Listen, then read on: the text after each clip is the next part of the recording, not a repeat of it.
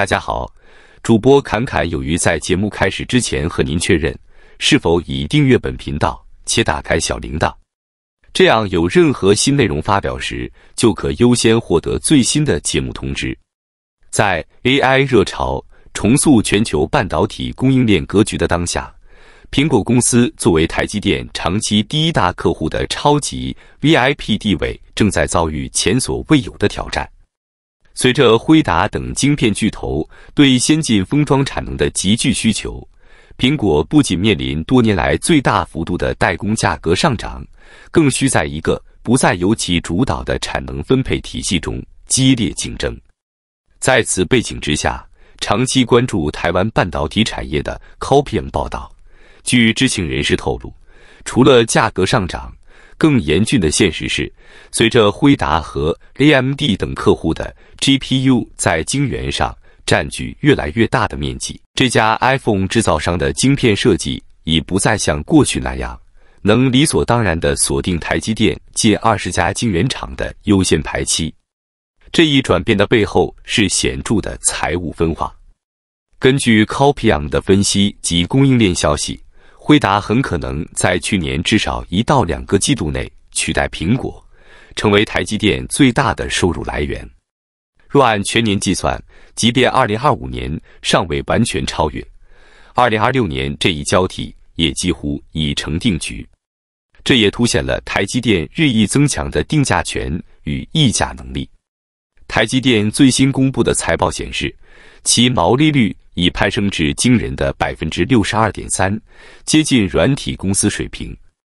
分析指出，虽然苹果依然提供着不可或缺的订单广度与稳定性，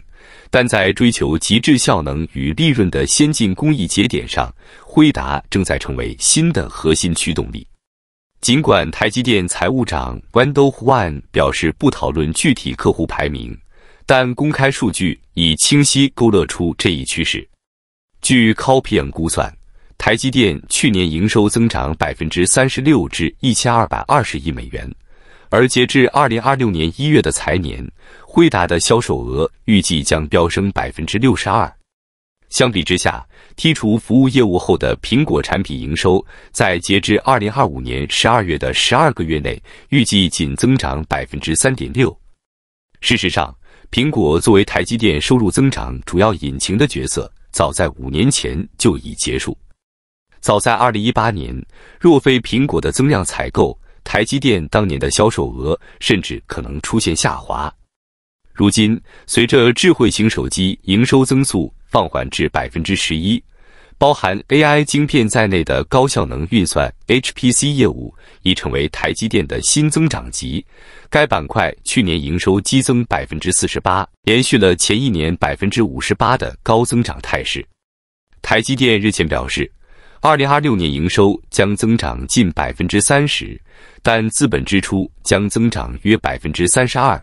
达到创纪录的五百二十亿至五百六十亿美元之间。从长期来看，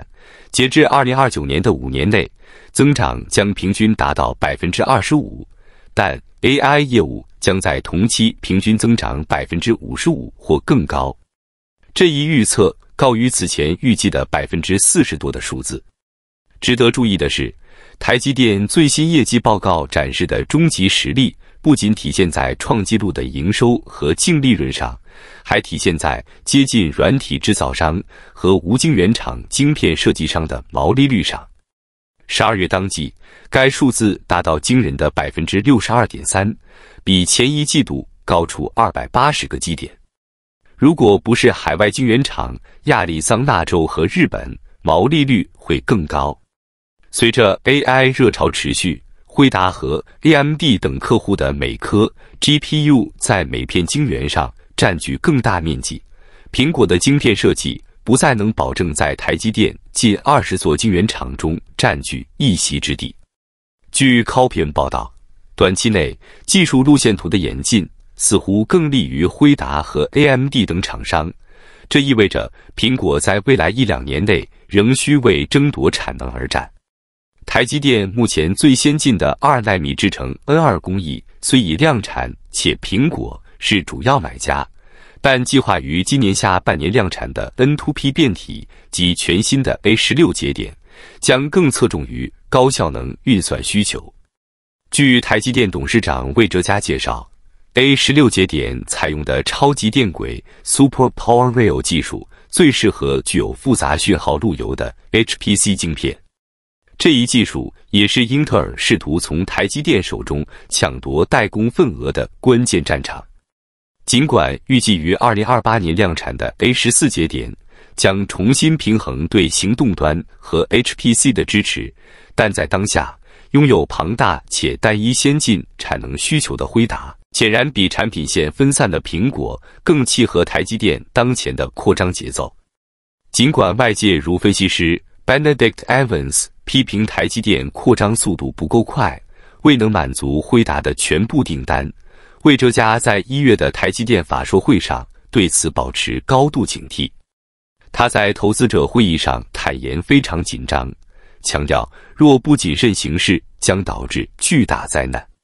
分析称，这种谨慎源于台积电独特的商业模式与 Google 或辉达等轻资产或软硬体结合的巨头不同。台积电承担着巨大的折旧风险。数据显示，台积电的折旧占营收成本的比例高达百分之四十五，是 Google 百分之十的四倍多。更是无晶圆厂辉达百分之五点七的近八倍。辉达作为晶片设计商，享受着超过百分之七十的毛利率，其主要风险仅在于库存。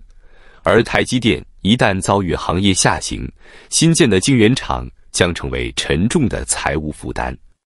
正如魏哲家所言，即便今年投入巨资，这部分支出的收入贡献在当年也几乎为零。但设备折旧却会立即计入账面，因此，尽管黄仁勋的影响力正在上升，甚至在某些维度上超越了苹果执行长库克，但苹果所提供的稳定性对台积电而言依然至关重要。分析认为，辉达的产品虽然炙手可热，但相对小众且集中，而苹果的产品线横跨台积电十几个晶圆厂。这种制造足迹的广度是单一 AI 晶片厂商难以比拟的。当 AI 泡沫最终冷却，市场增长曲线走平之时，苹果这类客户的价值将再次凸显。短期内受到排挤的不仅是苹果。据海外媒体 WCF Tech 报道，小米第二代自研旗舰行动处理器玄界 O2，也就是 X Ring O2。不会采用台积电最新的二纳米制程，而是选择采用台积电三纳米家族的 N3P 制程工艺。这也意味着玄界 O2 可能不会成为小米旗舰智慧型手机的主力处理器选择。小米的第一代旗舰行动处理器玄界 O1 在2025年初推出之时，采用的是台积电当时尖端的 N3E 制程。也是当时首款基于三纳米制成的、由中国厂商自主设计的旗舰行动处理器。但是，如果小米在今年上半年推出的玄界 O2 是基于台积电 N3P 制成，那么随着苹果、高通、联发科相继将在今年半年推出采用台积电二纳米制成的旗舰行动晶片，玄界 O2 就将会在制程工艺上处于落后地位。因此，其很难成为小米最高阶的旗舰手机的处理器选择。业界分析认为，小米可能是出于成本考虑而放弃二纳米制程，毕竟该最新制程的成本要比之前的三纳米高出了约百分之五十，并且台积电初期的二纳米产能也比较有限，主要被苹果、高通和联发科瓜分，小米也很难达到产能供应。另外一方面，由于去年下半年以来，DRAM 与 NAND Flash 价格大幅上涨，使得智慧型手机的综合成本面临大幅上升的压力。市场研究机构 Omdia 指出，近一年行动，DRAM 价格涨幅超过百分之七十，NAND Flash 价格更翻倍上涨，这将使得智慧型手机的整体物料成本 BOM 上升超过百分之二十五。在零组件成本普遍上升的情况下，若再导入更昂贵的先进制程，将进一步压缩终端产品的利润空间。所以，从目前来看，小米可能会将玄界 O2 的定位放在次旗舰产品上，并导入平板电脑及汽车等相关应用当中，扩大自研晶片的采用量，以进一步摊薄成本。那么，本期内容到这里就结束了，感谢你的观看，期盼能与你产生共鸣。侃侃而谈，阔论有余。最后，请你点赞、订阅，这对侃侃有余是极大的鼓励。谢谢。